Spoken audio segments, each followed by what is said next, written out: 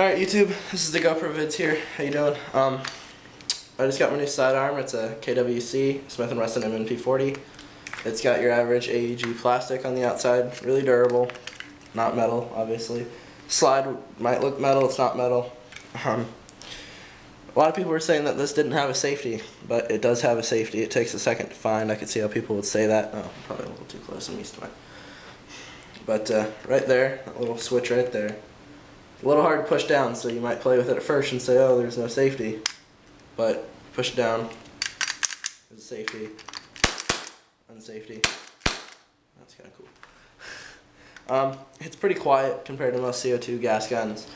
Um, it's got a metal magazine, all metal. You want to keep it lubricated. This piece right here sometimes stick. I don't know if you can see it slide very well. Haven't had too big of a problem with it holds 16 plus 1. Um, CO2, I don't know if I already said that. Uh, it says that you can get 250 shots out of each CO2 canister. No, I'm getting like 110. Uh, but it's a lot of fun. It's got a rail system on the bottom right there. You can mount like a laser or a flashlight. I think a laser would be really cool. You know, little CQB action there. This laser, right? Yeah, it'd be so awesome, wouldn't it? Um, shoots as fast as you can pull the trigger. I, I like it. It's only 40 bucks, so I, I bought it for 25, so you might even be able to get it cheaper than that. But I, I love it. It's my first, not my first, it's the only sidearm I have currently. My other one got stolen. Um, only thing I don't like about this is you have to hold this. Sorry, probably getting too close to the camera. I'm used to the GoPro camera. Um, not used to this thing. I wish it would stay down. It doesn't. You gotta hold it whenever you gotta load it. Not too big of a problem. Still, just wish it was there. Um, this gun works good. Most holsters. I just have this cheap holster from Sports Authority. It's like $16. Um, the belt obviously did not come with the holster. Uh, this is the Condor Outdoor belt. Tack belt. Tactical belt. Um, has two mag holders on it.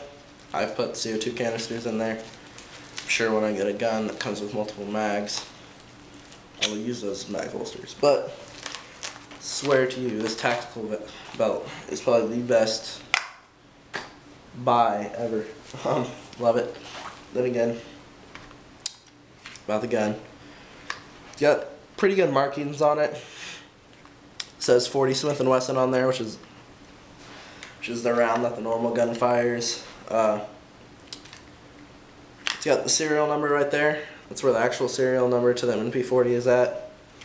Um, feels good. It's about actual size. I mean, real one's a little bit wider, but I, mean, I, I absolutely love this thing. for 40, for $25, it's awesome. I really want to shoot it, so I'm gonna go do a shooting review here in probably an hour. Probably won't be up today, but this video will be up today. Awesome gun. Iron sights, got white dots here, here, and here. It's pretty awesome. I want to remove that warning not a toy thing. It's pretty stupid. Um, your CO2 just goes screws right in there with a large Allen key. Um, say. This gun's just awesome. Buy it. I mean, it's a little too quiet. I wish it was a lot louder, and I wish it was blowback. It's not blowback, and it's not loud at all. I just wish it was. I don't know. And get some smoke to fire at you guys.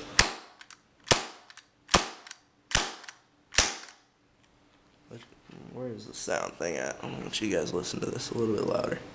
There you are.